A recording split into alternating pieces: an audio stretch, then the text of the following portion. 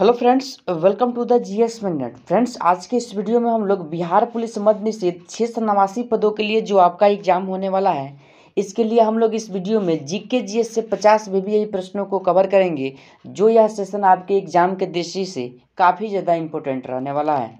तो अगर आप सभी लोग चैनल पर नए हैं तो चैनल को सबसे पहले सब्सक्राइब करके बगल वाले बेल आइकन को दबा दीजिए, जिससे कोई भी बिहार पुलिस मध्य निषेध से संबंधित वीडियो को अपलोड किया जाए तो उसका नोटिफिकेशन आपको मिल सके। आप सभी वीडियो को पूरा देखिए। जितना भी प्रश्न आपको कवर कराया जा रहा है, सारे प्रश्नों को अटेम्प्ट कीजिए। आपको सफलता शत प्रतिशत मिलेगी। ठीक है? तो ज़्यादा देर न करते हुए अब हम लोग आते हैं अपने पहले प्रश्न पे। आप सभी लोगों से पहला प्रश्न पूछा जा रहा है, निम्नलिखित में कौन कृषि उत्पादों पर न्यूनतम समर्थन मूल्य का निर्धारण करता है? तो इसके लिए आपका सही जवाब option number C C A C P हो जाएगा, ध्यान रखिएगा। यानी कि ध्यान से सुनिए, कृषि उत्पादों का जो न्यूनतम समर्थन मूल्य, यानी कि खरीद मूल्य आदि का जो निर्धारण है, वह कृषि लागत एवं मूल्य आयोग, यानी कि सी ए सी पी करता है। ठीक है ना? इसकी स्थापना उन्नीस सौ पैंसठ में हुआ था। ठीक है ना? लेकिन इसका नाम बदल करके, यानी कि उन्नीस सौ पचासी में सी ए सी पी रख दिया गया, ठीक है ना? और इसका मुख्यालय पूछा जाए तो आप सभी नई दिल्ली, आप सभी साथ साथ इसे ध्यान रखिएगा। चलिए, अगला प्रश्न है आप सभी लोगों का दो नंबर। भारत में दूध की उत्पादकता को बढ़ाने के उद्देश्य से ऑपरेशन फल्ट की शुरुआत किस वर्ष की गई थी? तो देखिए, इसके लिए आपका सही जवाब ऑप्शन नंबर बी 1970 के दशक में शुरुआत किया गया था और इसके जो नेतृत्वकर्ता थे, उनका नाम यानी कि डॉक्टर वर्गीज कुरियन था। कौन थे? वर्गीज कुरियन, ध्यान रखिएगा। अगला प्रश्न आप सभी से तीन नंबर, भारतीय जीएसटी मॉडल किस देश के उपभोग बैट मॉडल पर आधारित है? देखिए, यह जो मॉडल पर आधारित है, वह आपका क्या हो जाएगा? ऑप्शन नंबर सी कनाडा को आप सभी लोग ध्यान रखिएगा। ठीक? अगला चार नंबर प्रश्न है आप सभी लोगों का। निम्न में से मुद्रा के किस रूप को संकीर्ण मुद्रा कहा जाता है? देखिए, इसके लिए आपका जो सही जवाब ऑप्शन नंबर ए एम हो जाएगा, ध्यान रखिएगा। चलिए, अगला प्रश्न आप सभी लोगों का पाँच नंबर। सेट निम्न में से किस देश के स्टॉक एक्सचेंज का नाम है? देखिए सेट जो है, यह कहाँ का एक्सचेंज स्टॉक का नाम है, आप सभी को बताना है किस देश का। तो ऑप्शन नंबर है थाईलैंड को आप सभी लोग ध्यान रखिएगा। अगला प्रश्न छः नंबर, भारत ने अपना पहला परमाणु परीक्षण कब किया था? तो देखिए, यह जो परमाणु परीक्षण हुआ था, वह पोखरण पोखरण में हुआ था, आप सभी लोगों को पता होगा। यानी कि 18 मई उन्नीस सौ चौहत्तर को राजस्थान के पोखरण में किया गया था, ठीक है?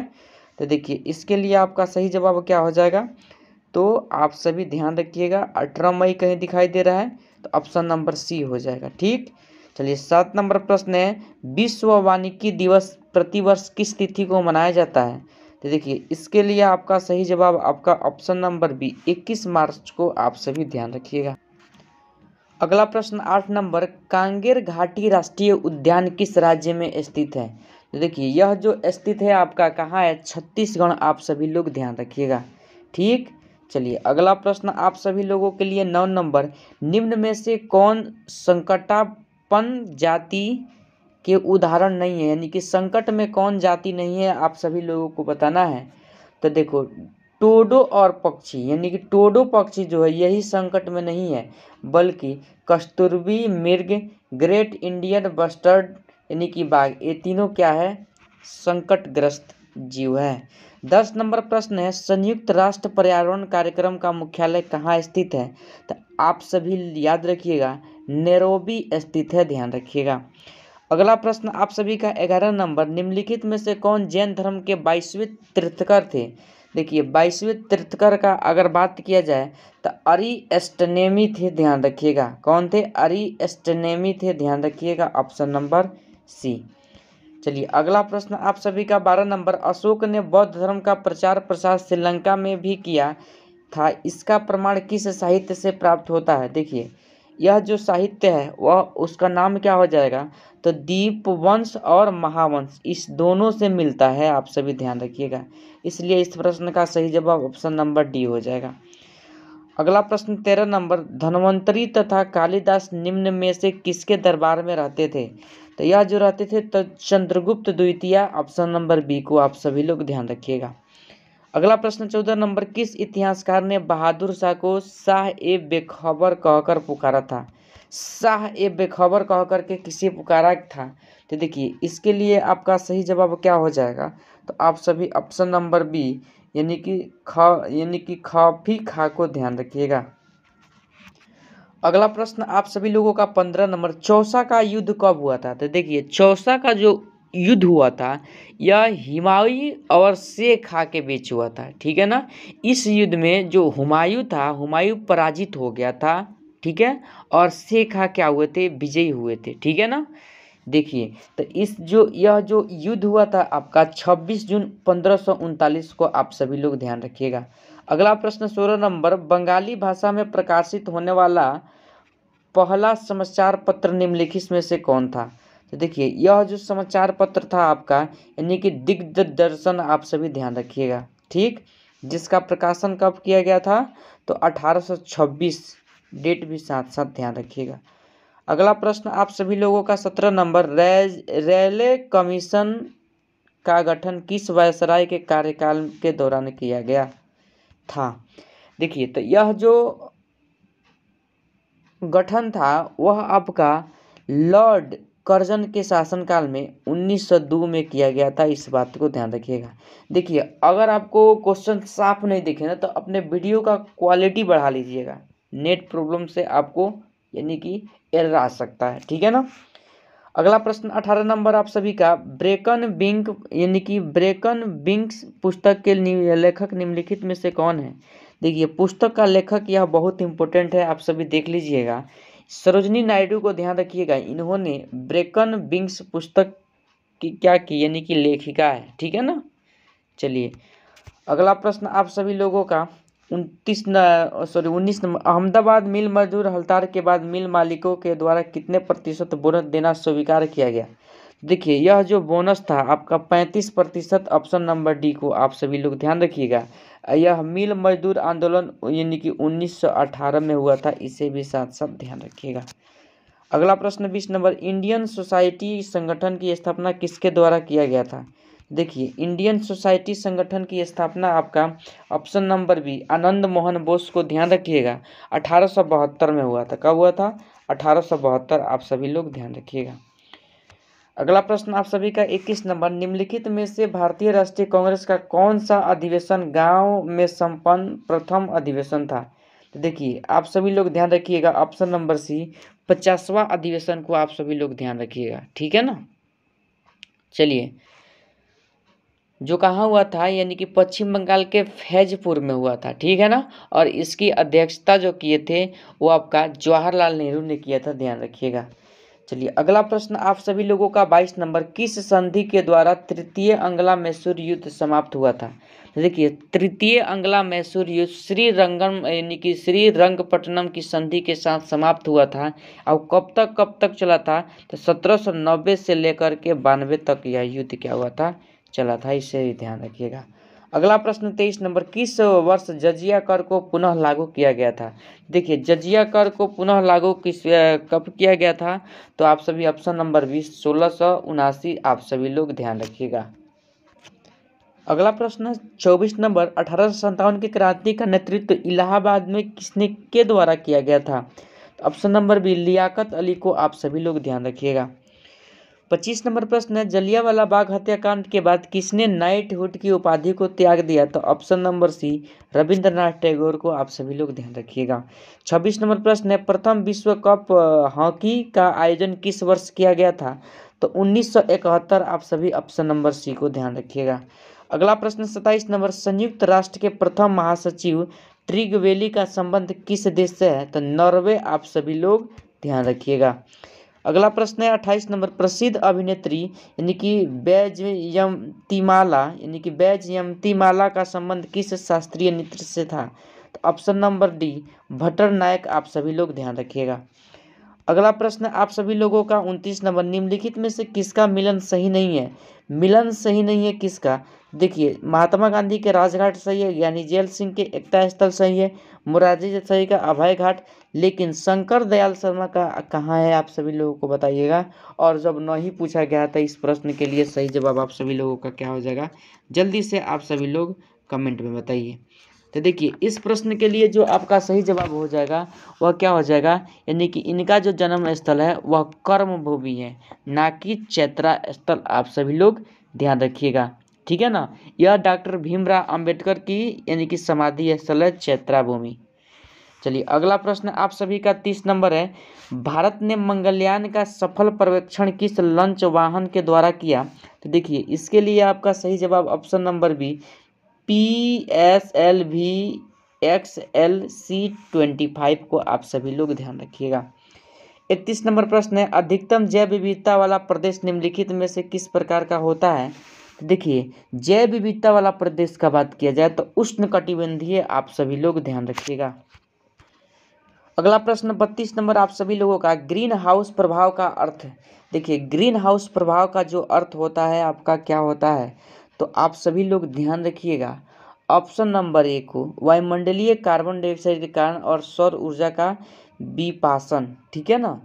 यानी कि ग्रीन हाउस प्रभाव का जो अर्थ होता है, वह वायुमंडलीय कार्बन डाइऑक्साइड के कारण सौर ऊर्जा का विपासन है। अतः विकल्प क्या हो जाएगा? आप सही का ऑप्शन नंबर ए सही हो जाएगा। अगला प्रश्न, तैंतीस नंबर, निम्नलिखित में से कौन गैर परंपरागत ऊर्जा का स्रोत नहीं है? गैर परंपरागत ऊर्जा का स्रोत इस प्रश्न को मध्य निषेध में पूछा गया था और ऑप्शन नंबर ए परमाणु ऊर्जा आप सभी ध्यान रखिएगा। बाकी तीनों ऑप्शन सही है। देखिए, चौंतीस नंबर प्रश्न है, देश के विभिन्न समूहों में किसके साथ अरुणाचल प्रदेश सीमा लगाती है? अरुणाचल प्रदेश राज्य की सीमा बताना है आप सभी को तो ऑप्शन नंबर सी, भूटान, चीन और म्यांमार, आप सभी लोग ध्यान रखिएगा। अगला प्रश्न आप सभी का पैंतीस नंबर, निम्नलिखित में से भारत का प्रमुख जलयान निर्माण केंद्र कौन सा है? जलयान निर्माण केंद्र आप सभी को बताना है तो ऑप्शन नंबर बी कोचिन को आप सभी लोग ध्यान रखिएगा। ठीक है ना? चलिए, अगला प्रश्न आप सभी लोगों का छत्तीस नंबर। छिब्रोपन बिजली परियोजना किस नदी पर स्थित है? छिब्रोपन बिजली परियोजना तो ऑप्शन नंबर क्या हो जाएगा? तो यानी कि घाघरा नदी, आप सभी ऑप्शन नंबर बी को ध्यान रखिएगा। अगला प्रश्न आप सभी का सैंतीस नंबर। कपास के उत्पादन में भारत का स्थान विश्व में कौन सा है? तो कपास के उत्पादन में आपका द्वितीय स्थान ऑप्शन नंबर बी सही हो जाएगा। चलिए, अगला प्रश्न है अड़तीस नंबर। भारत में सीमा सड़क संगठन की स्थापना किस वर्ष किया गया था? देखिए, सीमा सड़क संगठन की स्थापना जो हुआ था आपका, उन्नीस आप सभी ऑप्शन नंबर सी को ध्यान रखिएगा। अगला प्रश्न आपका भी भी यही, शिव किला धारा किस राज्य में स्थित है? शिव किला धारा। तो देखिए, इसके लिए आप सभी लोग ध्यान रखिएगा option number D Himachal Pradesh में स्थित है। अगला प्रश्न चालीस नंबर, नेपाल हिमालय का विस्तार किन दो नदियों के बीच तक है? तो देखिए, नेपाल हिमालय का जो विस्तार है आपका ऑप्शन नंबर बी काली से तिस्ता नदी, आप सभी लोग ध्यान रखिएगा। अगला प्रश्न, इकतालीस नंबर, भारतीय संविधान के संवैधानिक उपचारों के अधिकार को भारतीय संविधान की आत्मा और हृदय किसने कहा था? देखिए, यह जो कहे थे, ऑप्शन नंबर यानी कि इसमें नहीं दिया गया है। डॉक्टर भीमराव अंबेडकर ने कहा था, ठीक है ना? लेकिन ऑप्शन में कोई नहीं है तो ऑप्शन नंबर क्या हो जाएगा इसके लिए? ऑप्शन नंबर डी सही हो जाएगा। ठीक है ना? यानी कि अनुच्छेद बत्तीस, यानी कि संवैधानिक उपचारों के अधिकार को डॉक्टर भीमराव अंबेडकर ने संविधान की आत्मा कहा है। आप सभी ध्यान रखिएगा। बयालीस नंबर प्रश्न है, पंचायत चुनाव कराने हेतु निर्णय किसके द्वारा लिया जाता है? तो यह जो निर्णय लेते हैं राज्य सरकार, आप सभी ऑप्शन नंबर सी को ध्यान रखिएगा। अगला प्रश्न है, तैंतालीस नंबर, आर्थिक नियोजन किस सूची का विषय है? देखिए, आर्थिक नियोजन जो है आपका ऑप्शन नंबर सी, समवर्ती सूची को आप सभी लोग ध्यान रखिएगा। अगला प्रश्न चौवालीस नंबर, अशोक मेहता कमेटी, जिसने पंचायती राज को कार्य प्रणाली का पुनरीक्षण किया, ने किस व्यवस्था की संतुष्टि की थी? देखिए, इसके लिए आपका सही जवाब क्या हो जाएगा? ऑप्शन नंबर बी, यानी कि त्रिस्तरीय, सॉरी, त्रिस्तरीय आप सभी लोग ध्यान रखिएगा। सॉरी, इस प्रश्न के लिए सही जवाब आपका ऑप्शन नंबर बी, द्विस्तरीय ध्यान रखिएगा जबकि बलवंत राय मेहता समिति ने त्रिस्तरीय दिया था, ठीक है ना? पैंतालीस के नंबर प्रश्न है, आप सभी लोगों का देख लीजिए कि भारत में न्यायिक पुनरीक्षण की संकल्पना किस देश के संविधान से लिया गया है तो आप सभी लोग ध्यान रखिएगा, यह जो लिया गया है, ऑप्शन नंबर ए, अमेरिका के संविधान से ध्यान रखिएगा। छियालीस नंबर प्रश्न है, संविधान के किस अनुसूची में विभिन्न राज्यों में अनुसूचित क्षेत्रों के प्रशासन और नियंत्रण के लिए विशेष उपबंध है? देखिए, विशेष उपबंध का बात किया जाए तो ऑप्शन नंबर सी, पांचवी ध्यान रखिएगा। अगला प्रश्न, आप सभी का सैंतालीस नंबर, लोकसभा में केंद्र शासित प्रदेश के लिए कितनी सीटें आरक्षित है? देखिए, लोकसभा में जो आरक्षित सीटें हैं, वह आपका ऑप्शन नंबर यानी कि बी, बीस सीट ध्यान रखिएगा। अगला प्रश्न, आपका अड़तालीस नंबर, बंधुआ मजदूर अधिनियम को संसद ने किस वर्ष पारित किया था? तो यह जो पारित किया था, उन्नीस सौ छिहत्तर, आप सभी लोग ध्यान रखिएगा। अगला प्रश्न उनचास नंबर है, निम्नलिखित में से कौन सुमेलित नहीं है? देखिए, सुमेलित नहीं है, आप सभी को बताना है, यानी कि ए है भाग दो में नागरिकता, यह बात सही है, भाग तीन में मौलिक कर्तव्य, यह चार के कितना कम में आता है, यही बात गलत है, इसमें भाग तीन में मौलिक अधिकार आता है, और भाग चार में क्या आता है, नीति निर्देशक तत्व, और भाग पंद्रह में निर्वाचन तो नहीं पूछा गया है तो आपका ऑप्शन नंबर बी हो जाएगा सही, ठीक है? अगला प्रश्न आपके सेशन का लास्ट पचास नंबर है। वर्ष में लोकसभा के कम से कम कितने शस्त्र बुलाया जाना अनिवार्य है? देखिए, वर्ष में कम से कम कितने शस्त्र? तो आप सभी लोग ध्यान रखिएगा, यानी कि दो बार। कितने बार? दो बार आप सभी ध्यान रखिएगा, ऑप्शन नंबर बी। जैसा कि आज के सेशन में हम लोग जी जीके जीएस का अति महत्वपूर्ण पचास प्रश्नों को कवर किए हैं, जो आपके बिहार पुलिस मध्य निषेध के एग्ज़ाम से की दृष्टि से काफ़ी ज़्यादा इम्पोर्टेंट यह सेशन रहेगा। आप सभी चैनल पर नए हैं तो चैनल को सब्सक्राइब करके बगल वाले बेल आइकन को दबा दीजिए, जिससे बिहार पुलिस मध्य निषेध से संबंधित कोई भी वीडियो आपसे छूटे ना और प्रश्न को लेकर के आपको डाउट है तो हमें कमेंट में नंबरिंग के साथ ज़रूर बताइए, ठीक है? सेशन अच्छा लगा हो तो सेशन को लाइक कीजिए, ठीक है? ज़्यादा से ज़्यादा इसे शेयर भी कीजिए। चलिए आज के सेशन को हम लोग यहीं पर समाप्त करते हैं। फिर मिलते हैं अगले सेशन के साथ। तब तक के लिए जय हिंद, जय भारत।